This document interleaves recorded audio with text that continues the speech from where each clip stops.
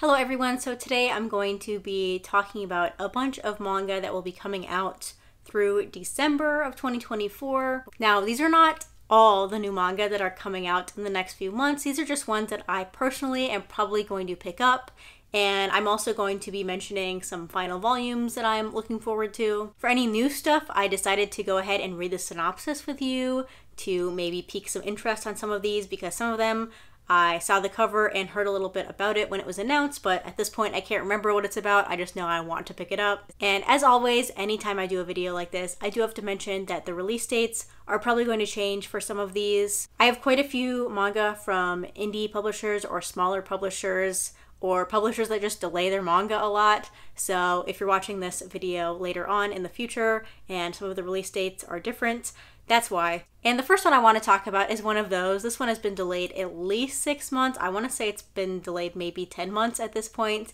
but that is Gannibal Volume 1. At this point, the release date is July 2nd, and since we're getting pretty close to that, I don't think they'll delay it anymore but we'll see. I backed the Kickstarter for the entire like hardcover release of all the volumes. That's supposed to come out in October, but I really doubt that at this point. But anyway, they keep sending me emails of like reviews of the first volume. For months, they've been doing this, months and months, and I don't know. They haven't released the first volume. But anyway, let's read what it's about, shall we? So this says After the mysterious disappearance of a countryside cop, the role is reassigned to Officer Daigo Agawa.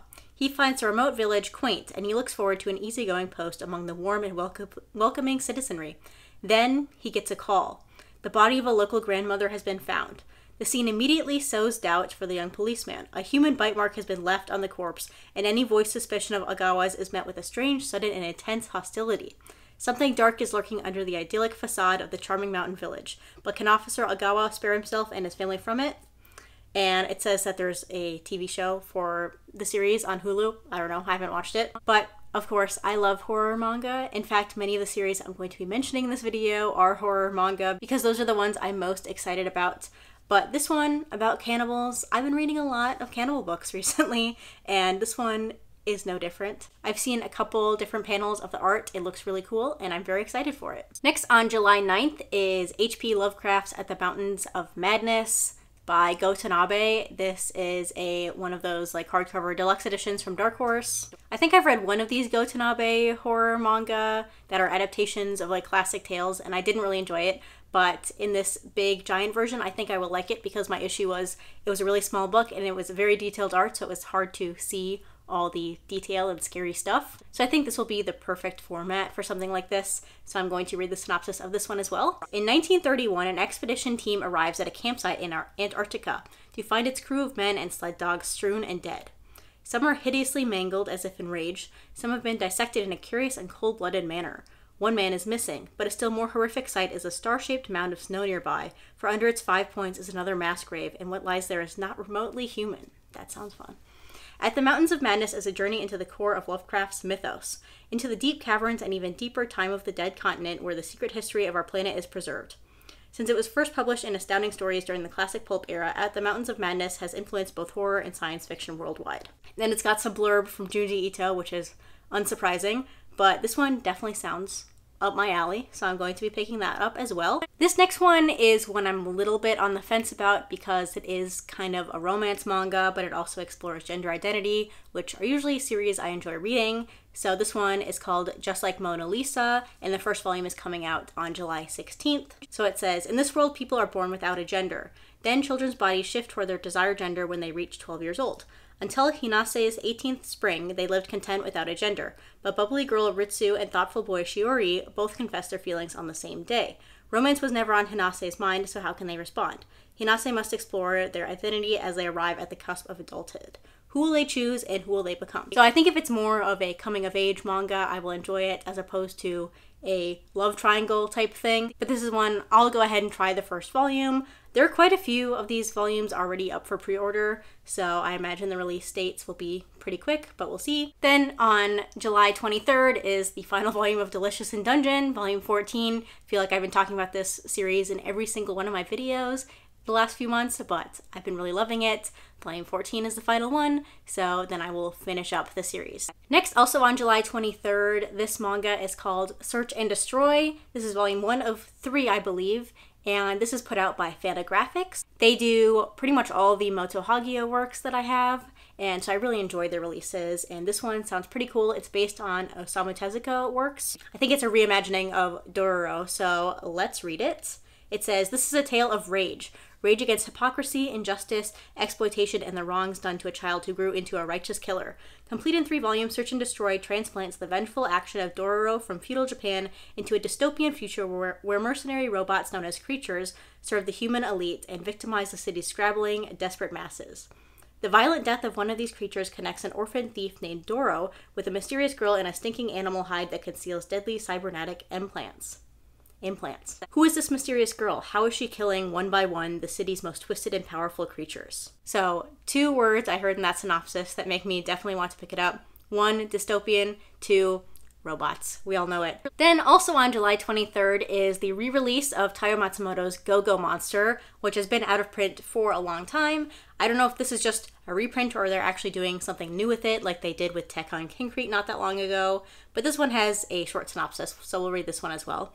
It says A haunting and poetic vision of one boy's imagination. Third grader Yuki Tachibana lives in two worlds. In one, he's a loner ridiculed by his classmates and reprimanded by his teachers for telling stories of supernatural beings that only he can see.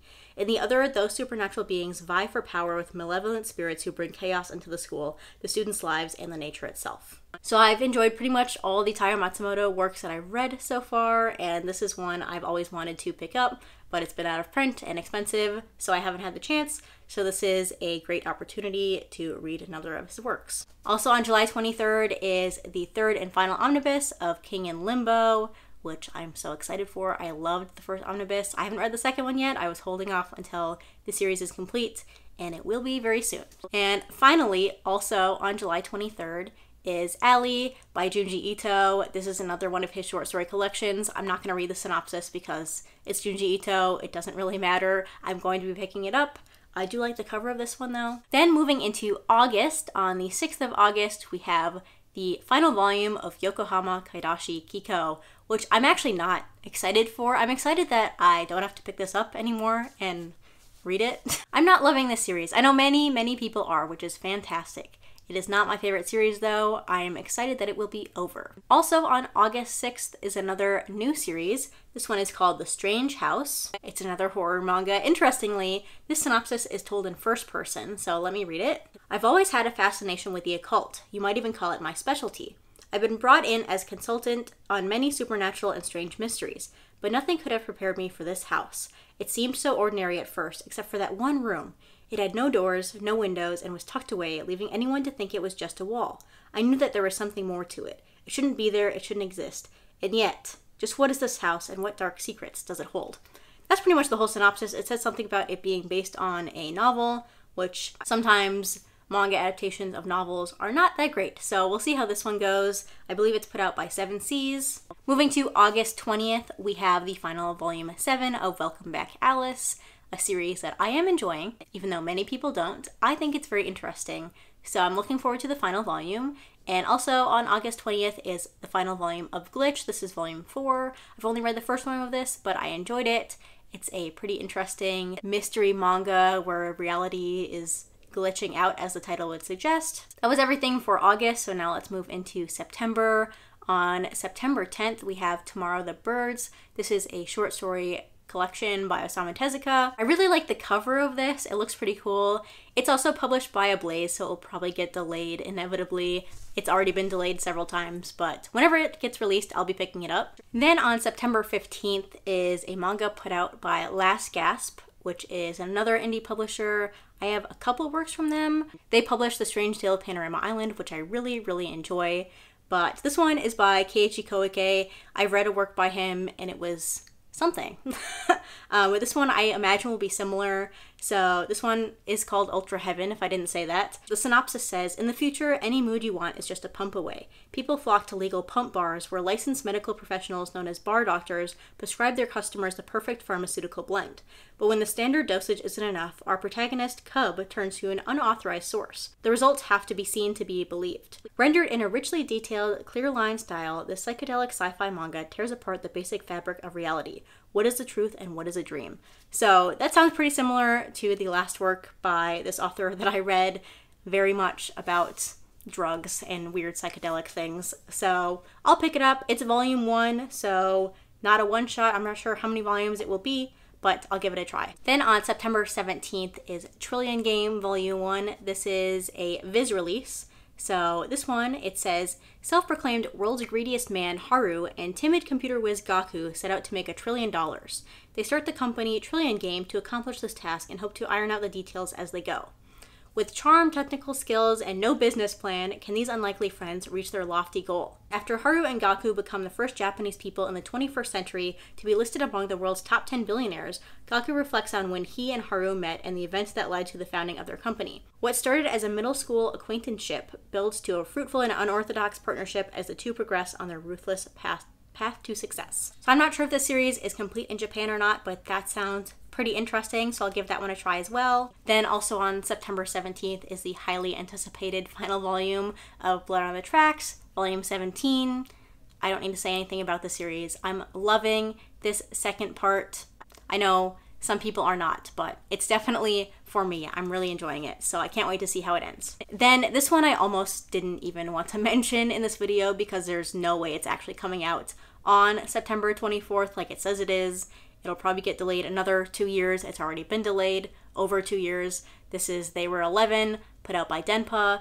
It's released by Moto Hagio, so I will pick it up whenever it gets released. There's no way it's getting released on September 24th. I would doubt it even gets released in this year. So I wasn't going to include it in this video, but I am looking forward to it, so whatever. Next is another manga put out by an indie publisher. This one is Living the Line, who has released Her Frankenstein, which I did recently read and I really enjoyed it.